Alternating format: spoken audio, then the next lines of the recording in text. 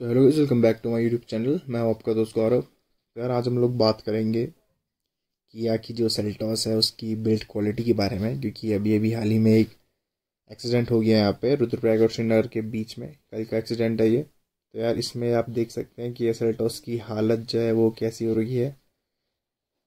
तो मैं आप लोगों को बता दूँ, ये एक्सीडेंट कैसे हुआ है।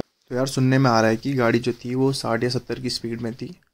और एक ट्रक से ओवरटेक करी थी तो सामने से भी एक गाड़ी आ गई। तो कार ने अचानक से एक कट ले लिया, जिससे गाड़ी रोल ओवर हो गई है। तो हम, मैं आप लोगों को बता दूँ कि अभी हाल ही में इस गाड़ी का जो है ग्लोबल एंड कैप वालों ने क्रैश टेस्ट किया था, जिसमें गाड़ी कुछ खास कमाल नहीं कर पाई थी। तो सेल्टॉस ने इसमें एडल्ट ऑक्यूपेंट्स के लिए three out of five star rating लाई थी, जो कि एक एवरेज रेटिंग है, और चाइल्ड ऑक्यूपेंट्स के लिए two out of five star rating लाई थी, जो कि बेकार रेटिंग है। यार हम लोग, हर कोई चाहेगा कि आप लोग अगर ग्यारह लाख से लेकर बीस लाख तक की गाड़ी में कुछ पैसा खर्च कर रहे हैं तो उसमें आप लोगों को सेफ्टी फीचर्स या फिर सेफ्टी रेटिंग बहुत ही अच्छी मिले। और इसके अलावा इसकी बॉडी शेल इंटीग्रिटी भी अनस्टेबल पाई गई थी, जिसका रिज़ल्ट आप लोग इस वीडियो में देख ही सकते हैं। गाड़ी कैसे रोल ओवर हो जाती है साठ या सत्तर की स्पीड में, अगर गाड़ी में स्टेबिलिटी अच्छी नहीं है तो।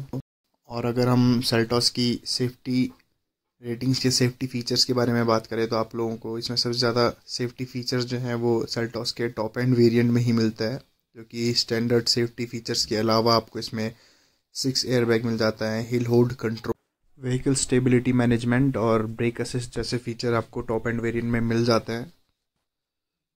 पर ये सब आपको एक स्टैंडर्ड सेफ्टी में नहीं मिलेंगे, जो कि बेस या फिर बीच के वेरिएंट्स में आपको आता है, ये टॉप एंड वेरिएंट में ही आपको इसमें मिलेगा। तो यार मेरे हिसाब से जितने भी सेल्टॉस ओनर हैं, या फिर जितनों भी सेल्टॉस ली है, या फिर जो भी सेल्टॉस लेने का सोच रहे हैं, उन लोगों को इससे कम से कम इतनी तो उम्मीद है कि ये गाड़ी four star out of five star rating ला के दे, क्योंकि ग्यारह लाख से लेकर बीस लाख रुपए तक की गाड़ी में हर कोई यही उम्मीद करेगा कि उसकी गाड़ी में कम से कम फोर स्टार सेफ्टी रेटिंग्स हो, क्योंकि बीस लाख रुपए कम नहीं है एक इंडियन कार्स के हिसाब से। इतने में आपको काफ़ी सारी अच्छी गाड़ियाँ मार्केट में मिलती है।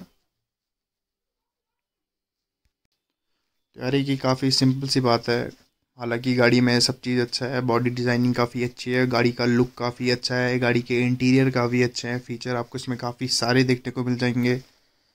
पर एक जो एक मेन चीज़ है, काफ़ी ज़रूरत की चीज़ है सेफ्टी उसमें गाड़ी को थोड़ा सा और अच्छा परफॉर्म करना चाहिए और मैं उम्मीद करता हूँ कि इसमें आए को काफ़ी सेफ्टी अपग्रेड्स आएँगे।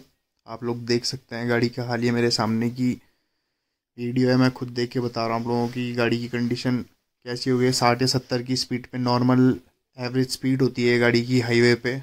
आप देख सकते हैं बॉडी रोल हो गई है।